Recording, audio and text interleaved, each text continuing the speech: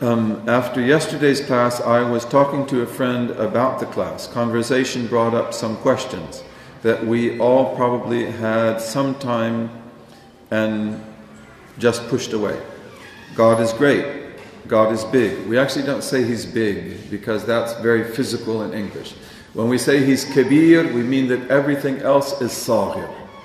We mean that everything else is insignificant with regard to him. But he's not big in size. And so in English, we, we, we don't say big because big is, in the English language, always has a sense of physical size. But God is greater than everything. Why couldn't he just not allow the devil to talk to Adam and Eve? Um, you know, uh, to eat the apple. Actually, in Islam, we don't believe it was an apple. And I don't know where the apple came from, because there's no apple in the Bible either. Um, the Adam ate from the tree, the shajara. In Arabic, what is a shajara? Do you know? When najmu wa shajaru yasjudan. And najm here is grass. Najma in Arabic means to appear, like out of nowhere. So the star appears, najma. But grass also, you know, it can be dry and it can die, and then the rain can come, and then it becomes green, it grows. Najma. So when uh, wa shajaru yasjudan, the najm here is like the grass and things like that. Shajar in Arabic is any plant that has a stalk. It's not just a tree. It could be a bush, it could be also wheat, because wheat has a stalk. So, in the Arabic definition of a tree, uh, we, we're not thinking of just these trees out here. We're talking about any plant that has a stalk, a sap. And that's why in our commentary they say that the tree was wheat, or some say the tree was fig, or they say, I think it was grape. You know, they, they suggest different things, but never apple. I don't know where the apple came from. And of course, it's very important that Adam ate, you know, uh, not Eve. You know, she, she's, she's not guilty here in any way. And that's, that's the account, that's the, the prophetic account. Um, you know, that he will um, talk us about, to, to, us about disbelief. Um, God creates Satan. Satan is the embodiment of evil. Satan, according to many traditions, um, existed a long time before his fall, thousands of years. And it's said that Satan was called the Arif Billah, he was called the knower of God, the Zahid of God. He was called the Wa'id of the Malaika. In every heaven he had a beautiful name. And he was called Azazil. He was called the glory of God himself. And he was the greatest of the spirits. And he believed. And in fact, he was with the earthly angels in particular. And the angels who were commanded to prostrate were not all angels, they're the earthly angels. You have many types of angels. The earthly angels are the most like us and spirits. They're the ones who ask the question. Gabriel doesn't ask that question. Michael doesn't ask that question. But the earthly angels, they are very much like human beings. They're very much also like jinn. They're the ones that ask the question. Um, the secret of Satan was not known to anyone until the appearance of Adam. And these are again haqa'iq. These are realities. They are not things that we talk about in creed. In the creed, we just take the story and we will say when we talk about prophets that Adam earned no sin.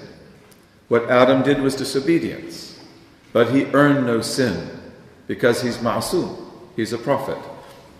So we say he is outwardly commanded not to eat, and he is inwardly commanded by God to eat. And this is because of the fact that by eating, even though he establishes a precedent that will be a test for his children, he begins the whole process of the testing of human beings, which begins with a perfect human being, Adam, and with his children, and the first generations of Adam. Adam has over 20 children in Eve, and you know, each time that Eve delivered, she had a twin. This is why some religions, like Zoroastrian religion, they and a lot of ancient religions, they put very special uh, symbolic importance on twins because twins go back to the very beginning. And so there was always a boy and a girl, a boy and a girl, and a boy and a girl. And they were not allowed to marry their twin, but they could marry another sibling that was of another delivery. And that's because there's nobody else. This is the way the human family begins. And in Zoroastrian religion and Magian religion, they interpret this in ways that we won't go into right now. You know, but um, you know, this was the wisdom of God. And that first generation, these were great people. Thullatun min al awwaleen. Vast numbers of the first generations were great people. And then they also had among those those were not that way. Uh, in any case, um, God's purpose was to test human beings. And He creates a being who will do that. And this is Satan. And all beings are manifestations of the names of God.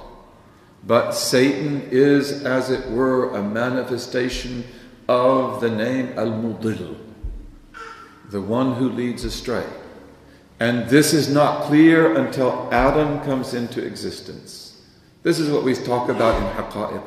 And you don't have to believe this. I believe it's true, you know, but there is great purpose in the creation of Satan and of human beings because we are to be tested to see who we are and to bring out this identity, you know, which is who you really were and who you are now. So God has wisdom in this. Um, you know, John Milton, who's a very interesting poet, he wrote Paradise Lost and Paradise Regained and Samson Agonistes. Um, when he wrote Paradise Lost, he was an Arian Christian. Even though if you read it, you'll think it's Trinitarian, but it's not. And then Paradise Regained, he is a Unitarian. And Samson Agonistes is almost like he's a Muslim because he became so close to us at the end of his life, he even acknowledged that Muslims will have salvation. You know, and Samson Agonistes is a poem that any Muslim can read easily and uh, accept. But John Milton in Paradise Lost, this is what he's talking about. Why is Satan there?